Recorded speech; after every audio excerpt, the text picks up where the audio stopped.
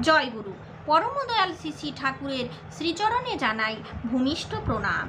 আপনাদের প্রতি প্রত্যেককে জানাই রানন্দিত জয় গুরু। নিজের ইচ্ছেকে পূরণ করবার জন্য পরম দয়াল শ্রী শ্রী ঠাকুর কি করতে বললেন? নিজের ইচ্ছে পূরণ হবার জন্য আমাদের কি এমন করতে হবে? ইচ্ছে তো অনেক আছে। এই ইচ্ছে যদি আমরা পূরণ করতে যাই, তাহলে অনেক রকম বাধা আসে। যতই আসুক বাধা, বিপদ, ঝড়, ঝঞ্ঝা, আমরা কীভাবে সেগুলোকে পেরিয়ে উঠব? খারাপ সময়কে কীভাবে বদলে নেব ভালো সময়ে? পরম দয়ালের এই বার্তা আজকালকার দিনে প্রত্যেকেরই আমাদের লাগবে। শুধু নিয়মটা জানা চাই, পদ্ধতিটি অ্যাপ্লাই করা যায় শুনুন, পরম দয়াল শ্রী শ্রী ঠাকুর আলোচনা প্রসঙ্গের পনেরোতম খণ্ডের তিরানব্বই পৃষ্ঠায় কি কি বললেন? পরমদয়াল শ্রী শ্রী ঠাকুর বললেন, ইষ্টের চাহিদা পূরণ করলেই নাকি আমাদের চাহিদা পূরণ হয়?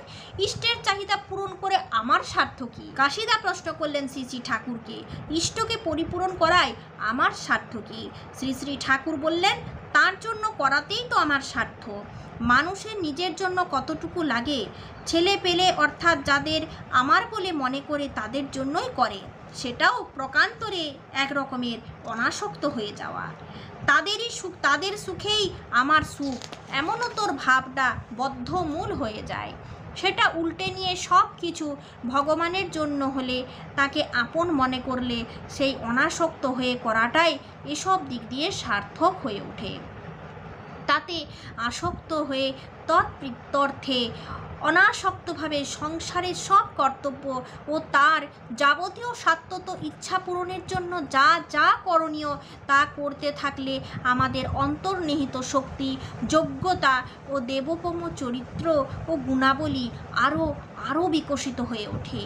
ইষ্টার্থী চলনে আমাদের জীবন বৃহত্তর সমাজের সেবায় আরও সার্থক হয়ে ওঠে। কেন আমরা ইষ্ট স্বার্থ করব? কীভাবে তার স্বার্থ পূরণ করলে আমাদের লাভ হয়? এ কথাই বারবার আমাদের প্রশ্ন করা হয়, কিন্তু যথাযোগ্য উত্তর আমাদের না জানার কারণে আমরা দিতে পারি না। অতখানি স্বার্থ তো প্রয়োজন পূরণী দক্ষতা পূর্ণ করার ফলে ক্ষুদ্র সংসারের প্রয়োজনও স্বাভাবিকভাবে মিটে যায় আশাতীতভাবে। আমি তো পরম পিতার খুশির জন্য কতজনের কত ব্যাপার নিয়ে হরদম ব্যস্ত থাকি। নিজের সংসারের কথা ভাববার ফুরসতি আমার কম। তোমাদের সবাইকে নিয়ে আমার যে এত বড় সংসার, তা কি চলছে না? তোমরাও আমার মতো সবার মঙ্গল স্বার্থী পাকা স্বার্থপর সংসারী হও, তাই তো আমি চাই। সংসারে যদি আসক্ত থাকি, সেই আসক্তির দরুন জমি, জমা, মামলা, মোকদ্দমা, অফিস, কাছারি, অর্থ, মান, প্রতিপত্তি, লোভ, ক্রোধ, হিংসা, পরশ্রী, কাতরতা, ন্যায়, অন্যায়, পাপ, পুণ্য, উদ্বেগ, দুশ্চিন্তা, কত কিছুর শিকার হয়ে পড়ি, তার কি লেখাচোখা আছে? আর এইখানেই কি তার শেষ হয়? নিজের ঠান্ডায় ঘুরি বলে জন্ম জন্ম ধরে কত কর্মফলের বোঝা বাড়িয়ে চলি। তার আর তজ্জনিত দুর্ভোগ ভুগে ভুগে মরি।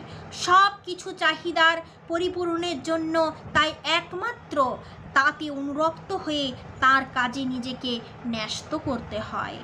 তার বিরাট ইচ্ছা মূর্ত করতে গিয়ে আমাদের ব্যক্তিত্ব ও যোগ্যতা বেড়ে ওঠে। প্রাপ্তিও হয় অঢেল। মুখ্য করে চলতে হয় তার ইচ্ছা পূরণ। সেই জন্যই বাঁচা ও বাঁচার প্রয়োজন মেটানো।